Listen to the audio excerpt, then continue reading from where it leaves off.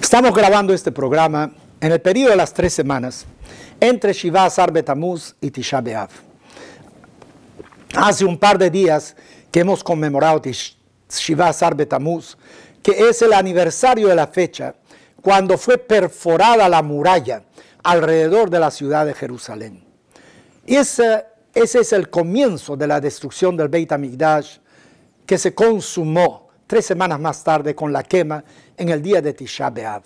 Y hasta el día de hoy, desde luego que conmemoramos ese periodo de tragedia para el pueblo judío, porque hay que pensar qué es lo que significó el Beit HaMikdash para el pueblo judío en aquel entonces. Ya son dos mil años que no tenemos el Beit HaMikdash con nosotros y ojalá que pronto se reconstruya el tercer Beit HaMikdash.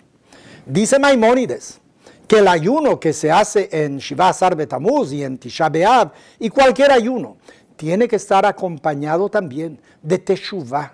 Tiene que estar acompañado de recogimiento. No se trata tan solo de no comer, de no beber, sino se trata también de reflexión, de recogimiento, de pensar en los errores que uno ha cometido y tratar de hacer enmiendas para el futuro.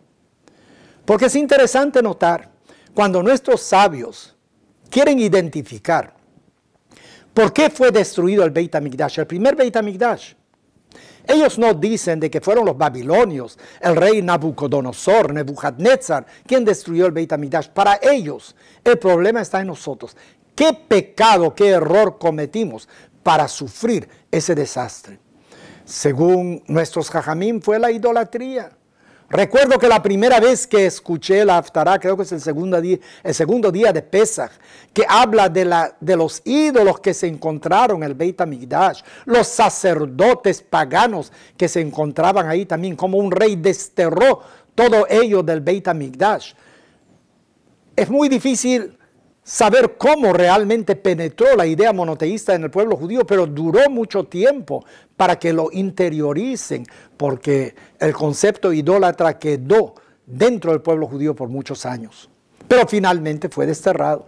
¿Por qué fue destruido el segundo Beit HaMikdash? Los roma- romanos lo quemaron. Eso no es lo que en la mente de nuestros jajamim es lo más importante. ¿Cuál fue nuestro pecado, nuestro error? Para que Dios envíe de alguna manera a los romanos a destruirlo.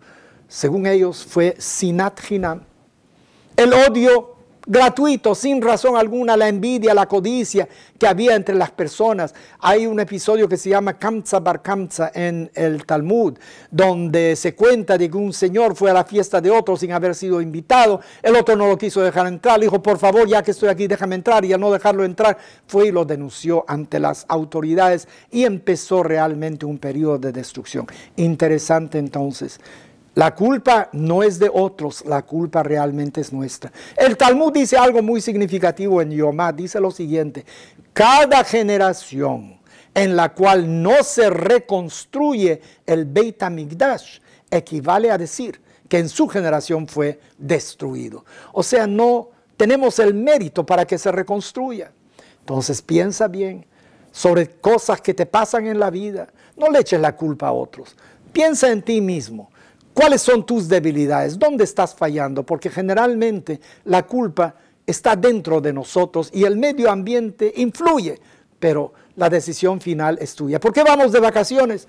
Porque estamos ya muy agobiados por la atmósfera donde nos encontramos. Pero interesante que a donde vayas, te llevas a ti mismo también. Si te sientes bien aquí, te vas a sentir bien allá. Si te sientes bien contigo mismo, vas a apreciar a tu prójimo también.